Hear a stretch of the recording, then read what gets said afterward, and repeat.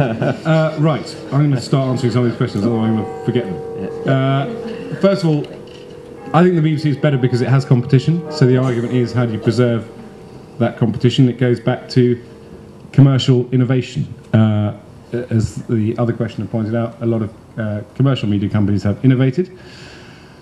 Uh, now, at the risk uh, of uh, obviously playing to uh, David's prejudices, I will say, for example, that Sky continues to innovate. It uh, innovates with 3D, innovated with high definition, it innovated with 24 hour news, it's innovated with two arts channels. Uh, I think it continues to innovate. I think ITV innovates potentially in the content of some of its programs. So I think it's important that the BBC doesn't, you know, that those commercial competitors add to the BBC, and the BBC has to commercial competitors. It's a complex ecology, and I think we need to create some competitive.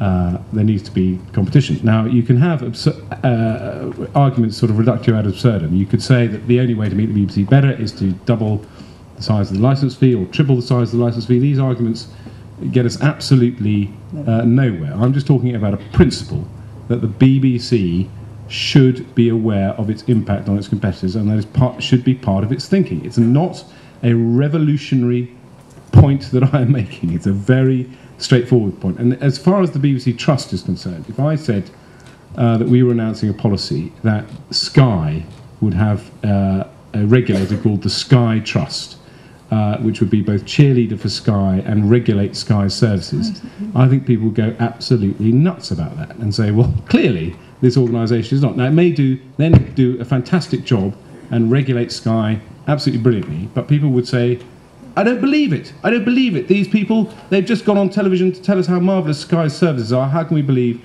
that they're regulating properly? So it's simply a matter of corporate governance, in my view. But you can argue if the BBC Trust is doing a fine job, let's not touch it.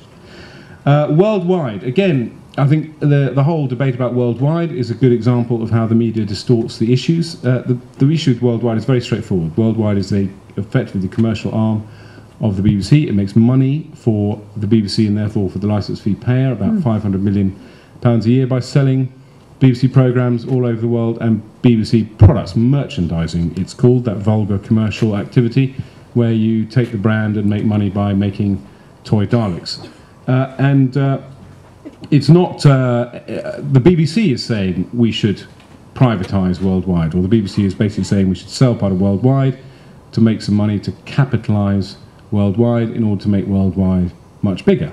And certain commercial rivals, particularly independent production companies, who are organisations who've benefited both from the BBC and other media channels, and who we should also be very proud of. We've got one of the biggest and strongest and most vibrant independent sector uh, television uh, companies in the world uh, are concerned that a semi private BBC Worldwide would effectively become a global distributor of all programs and could potentially affect them. So, again, competition comes into it.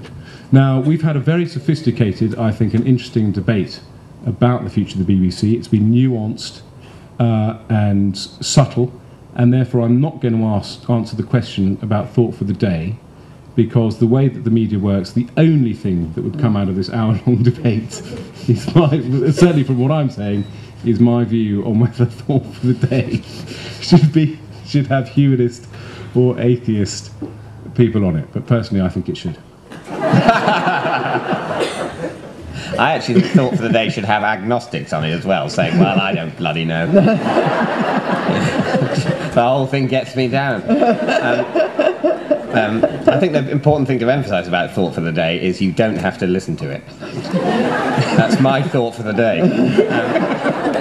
Um, um, I, I, think the sort of the, the, main sort of criticism of my point of view came from that gentleman who was I, I, talking about the impartiality of the BBC. I, I don't know about the event he was trying to publicise. because the BBC never broadcast it. uh, no, indeed, uh, and uh, I, I, you know, I, I can't. Uh, I think the term is I can't comment on specific cases.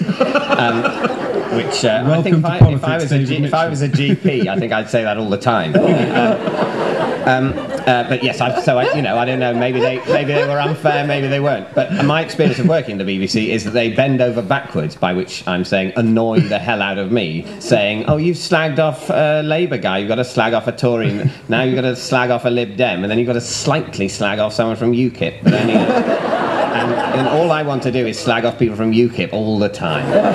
Um, so, but you know, genuinely, there are there are a lot of people in who who are extremely anal about that, and obviously sometimes they slip up. But but there's you know there, there are people who are very aware of it, and and to the extent that it affects comedy shows, particularly in the run up to an election. Um, uh, but obviously, occasionally something will go wrong. I, I don't. I, similarly, the bias in the BBC in favour of the government from '97 to 2001. You know, I don't know. I dare say they were trying not to be, but uh, you know, the, the country was very enthusiastic about the government after the '97 election.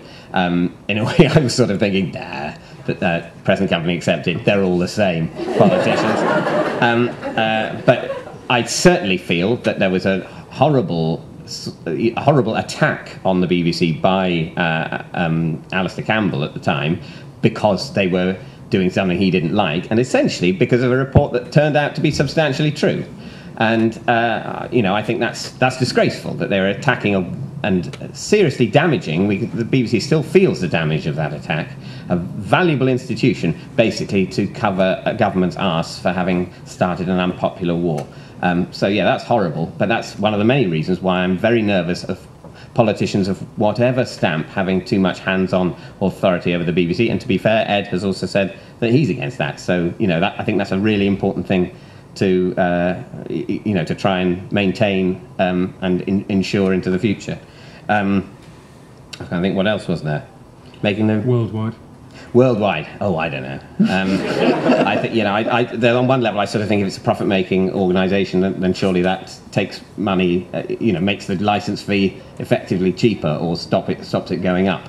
Um, and I think BBC Worldwide does some, you know, fantastic things. But I, I, I suppose I accept the argument that it shouldn't be allowed to take over and shouldn't become the main thing the BBC is about because it is, while all its profits go to uh, you know, subsidise the main part of the BBC. It does act entirely as a commercial company, and I think that's fine to a certain extent. But if it became, you know, the size of um, News International or Denmark, um, then uh, then I think that would probably be going too far. But that's it's a question of degree, and yeah. Innovation. Innovation. Oh, why aren't the commercial channels innovating? Um, uh, yeah, I don't know. Um, I think I think the I think the sign I think I think the main reason is that the commercial channels and the, the media in general are going through crisis. I think the, the, the sort of twin impact of recession and uh, the internet has, uh, you know, is causing huge problems. And my overall response to that is, aren't we lucky that we've got the BBC to stop our media utterly collapsing? The counter argument is the BBC's presence makes it even harder on the uh, competing media. But I'm sure, whatever, the, the reason, if there is, as you perceive, less innovation in the commercial media is because they've got less money, they've got less, they're, they're under a lot of pressure, they're trying, as I think people are in all sorts of media, in film, in books, they're, they're trying to fall back on old hits and sort of reheat old ideas. Um, the existence of the BBC means that as an institution that, that is uh, financially secure enough that it can continue to innovate, and I think has been doing so. The irony for it is that sometimes it innovates so successfully that its competitors then want it destroyed.